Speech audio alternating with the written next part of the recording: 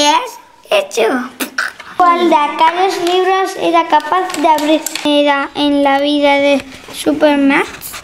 Inmediatos implantantes del interior. ¡Plam!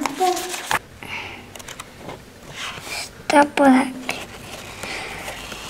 Bienvenidos a Webbook, el libro que cuento. Presentamos, mostramos El monstruo de los monstruos de Patrick McDonnell. Como dice claramente su título, pues un cuento de temática monstruo.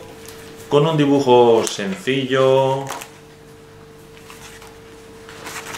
directo, con unas ilustraciones bastante parejas al dibujo animado, como podéis ver en estas páginas, que transmiten al lector pues la acción rápida a través de su propia historia.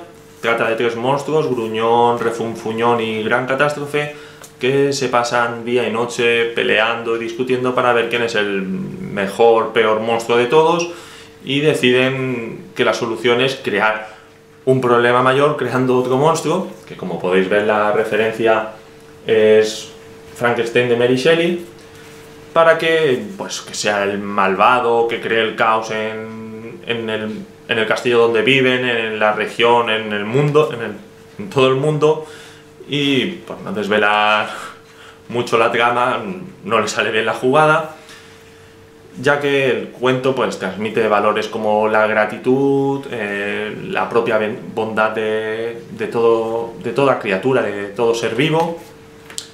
Es un cuento recomendado, que su edad recomendada a partir de 3 años, pero tiene pequeños detalles como los diálogos, los párrafos un poco más extensos, con algunos momentos la letra algo más pequeña, aun conservando elementos infantiles como las onomatopeyas, las diferentes situaciones en una misma página, como esta de los insectos del castillo, y páginas con cuatro frases, líneas cortas y unas ilustraciones preciosas en estas páginas finales que veremos más adelante en otros cuentos infantiles que parece que están enfocados a la prelectura o lectura en este mismo formato.